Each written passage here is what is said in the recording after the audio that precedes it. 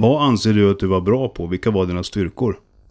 Eh, jag anser väl att jag var väldigt bra på just det här med strategin för ett lopp och hur jag la upp loppen. Ehm, jag känner att jag var alltid väldigt duktig på en, en väldigt bra strategi i stort sett genom hela min seniora karriär. Ehm, med just liksom hur mycket energi jag skulle lägga första delen av loppet, hur jag ville att starten skulle kännas, kickan under vattnet, uppgången, eh, antag och ja, tajmingen in till mål, gång och vändningar. Alltså hel, hela biten egentligen så var, var jag väldigt då, detaljstyrd i mitt upplägg.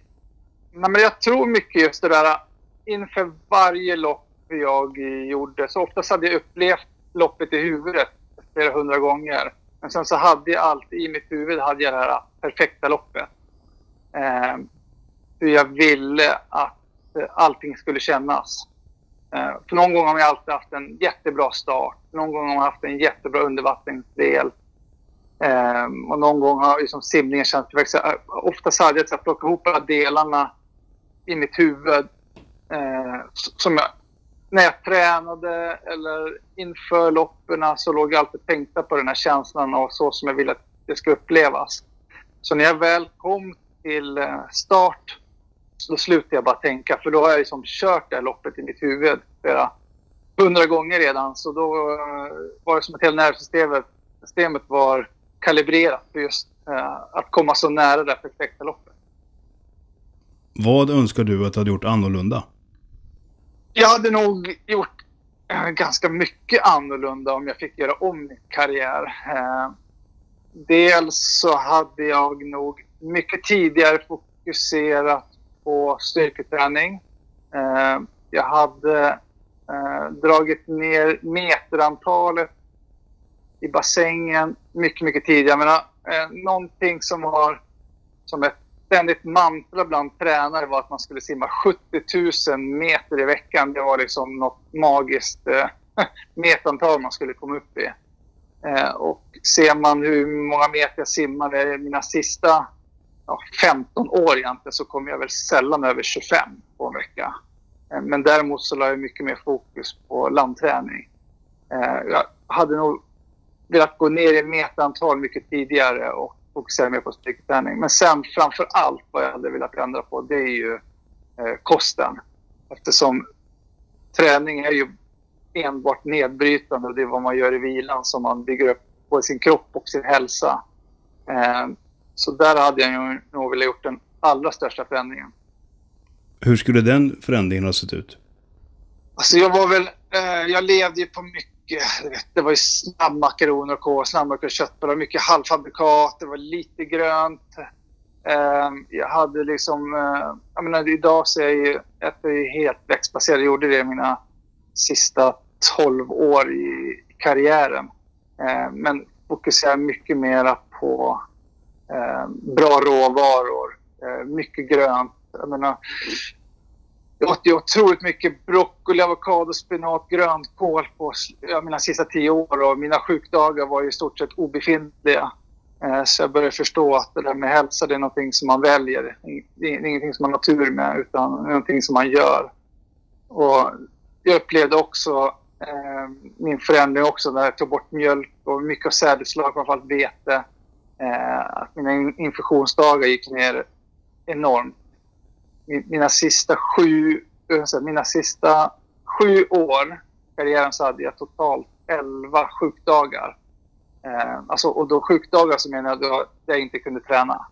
In, inte att jag inte, om jag hade haft ett vanligt jobb så hade jag absolut såklart kunnat gå till mitt jobb och kunnat sköta det. Men just att jag inte kunde träna de dagarna. Så det är nog det största förändringen jag skulle vilja göra i min karriär. Hade du gjort något annorlunda rent inställningsmässigt eller mentalt? Nej, jag tycker inte. För jag upplever aldrig under min karriär att jag haft någon sån här mental dipp. Utan eh, jag kommer ihåg mycket i början av 90-talet så var det, det var väl lite grann då som mental träning började bli lite grann i ropet. Eh, och just då så tyckte jag att det här är ingenting för mig. Utan det var egentligen långt senare som jag förstod att jag har ju mentaltränat under hela min karriär just med att varenda träningspass så hade jag mentalt mina värsta motståndare alltid bredvid mig i, i, i bassängen när jag tränade. Så jag hade ju mött de här ja, tusentals gånger när jag väl mötte dem så jag hade ju som aldrig någon så här rädsla för någon utan rent mentalt så hade jag alltid slagit dem. Och jag kan vara krass säga att jag tycker aldrig att jag har gjort dåligt lopp under hela min karriär på något stort mästerskap. Så där hade jag nog behållit allting. Då var det liksom inga, inga tvivel direkt som du hade på dig under någon gång under något stort lopp eller? Nej, sen såklart har man ju varit nervös. Eh, och det har ju varit väldigt jobbigt. Men just jag tror i den här mentala förberedelsen. För mig var det mycket... Jag menar, när man kom till de här första stora mästerskapen och man var ofta så 15 minuter in, innan ett stort lopp så går man in i något som kallas för last call room. Man samlar upp då heatet. och där är det ju alltså det är fruktansvärt lite så här tortyr, en så här hatkärlek till den här nervositeten. Men sen när man går ut från det här rummet och in på arenan så har allt den här nervositeten blivit ren adrenalin och eh, jag har liksom ändå kunnat kontrollera och få egentligen kraft i det där. Eh, det är det man saknar när man lägger av den dagen de där starka endorfin och adrenalinkickarna eh, kan man som inte riktigt ersätta. Vilka tips skulle du ge till någon som vill få ut det bästa av sig själv?